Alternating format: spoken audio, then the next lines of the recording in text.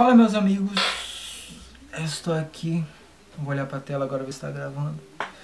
Olha só, vocês podem ver, deixa eu focar aqui pra vocês. É, meu rosto tá meio sujo, minha blusa tá meio suja, aí tá focando. Porque eu tava na marcha pra Jesus, tô muito triste, tô muito triste. Tava na marcha pra Jesus e deu tudo certo. Chegou lá, o Michel da igreja lá onde eu frequento a gente trabalhou vendendo água lá, orei durante, cantei louvor durante a marcha. Mas aconteceu uma coisa no final que deixou triste. Deixou triste, né? Porque a gente brasileiro, a gente trabalha duro para conseguir um bem material e vem um abençoado, devorador e toma de uma forma fácil e rápida. Né? Eu, eu não ando de ônibus, não porque eu sou melhor que os outros, mas que eu batalhei, eu lutei, eu me esforcei, fui humilhado, trabalhei demais para comprar uma moto nova na loja. Como vocês podem ver outros vídeos aí, tem muitos, muitos... Eu, tudo que eu faço sempre é com ela, eu saio com ela, vou resolver problema com ela. E a última vez que eu dei de ônibus eu fui assaltado, isso em 2017. Começo de 2017 eu resolvi, não cara, vou trabalhar, vou me esforçar mais para conseguir comprar um carro ou uma moto. No caso foi uma moto para é, me ajudar no, no, indo para o trabalho e economizar tempo. E então, e eu resolvi, tô enrolado gente, porque eu tô um pouco nervoso. Mas eu tô calmo, tô calmo. Um pouquinho só nervoso, mas tô, tô calmo. E o que aconteceu? Eu fui eu fui para mais para Jesus de ônibus, porque eu ia do ponto A até o ponto B, né? Só que até chegar no ponto B é um caminho muito longe. Então não tinha como eu chegar aqui, deixar a moto por aqui, depois ia estar aqui no final. E onde é que eu ia deixar a moto? Se ia deixar no ponto A aqui. Então eu resolvi ir de ônibus, pegar o ônibus aqui, fazer a marcha todinha, pegar o ônibus e ir pra casa. E eu fiz isso, né? E na vinda pra casa, aí eu tinha muita gente, muita, muita gente tava indo, voltando para suas casas. E esse vídeo, deixa eu ver se tá gravando, tá gravando. Vai ficar um pouco longo esse vídeo. E não vai ter edição nenhuma. Espero desabafar com vocês. E então eu resolvi voltar de ônibus. E eu nunca coloco o celular no bolso. Eu, e eu cometi esse erro. Eu coloquei no bolso que foi muito rápido, cara. Ladrão é muito rápido. E eu coloquei no bolso e ele o ladrão, né? Foi muito rápido, eu senti puxando e na hora que eu olhei para trás já tinha uma multidão entrando dentro do ônibus. E o que, eu tenho para dizer para vocês é que, eh, voltando ao que eu falei, eu não coloco o celular dentro do bolso. Eu coloquei rápido porque eu tava muito com, tava, meu corpo tava muito suado e, a, e atrás do celular tem um sensor e me disseram que pode queimar. Eu coloquei rapidinho ali, acho que foi rápido.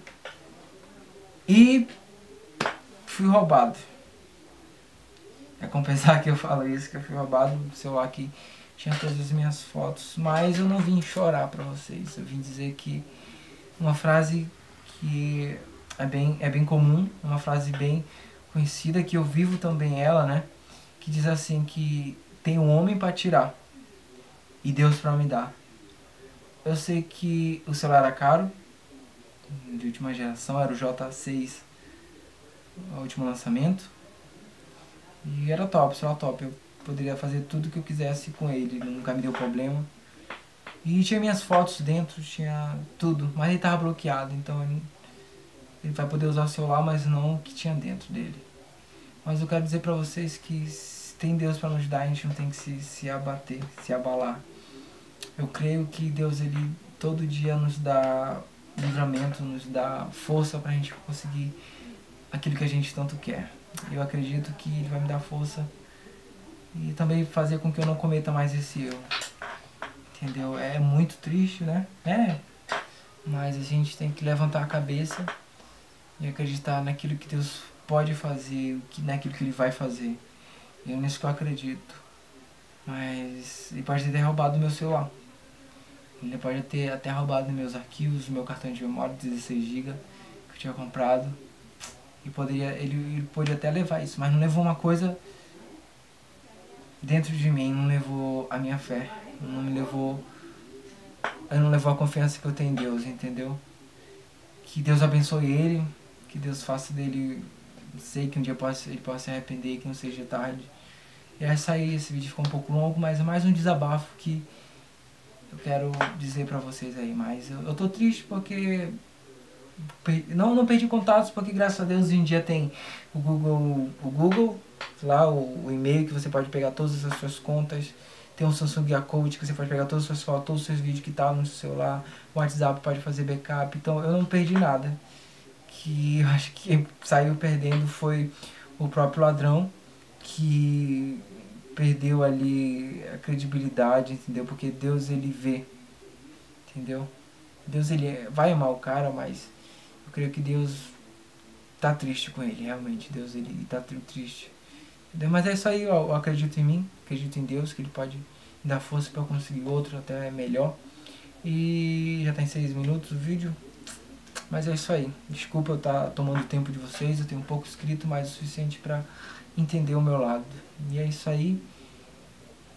Que Deus nos proteja, nos console, nos abençoe. Foi mais para Jesus foi muito bacana. Os próximos vídeos aí vai ter tudo de uma forma bem bacana que eu gravei na minha GoPro Hero 7. Graças a Deus estava na minha bolsa da câmera, então ele não roubou. Então todos os vídeos que eu gravei estão aqui. Eu gravei poucos vídeos para colocar no Instagram e no WhatsApp.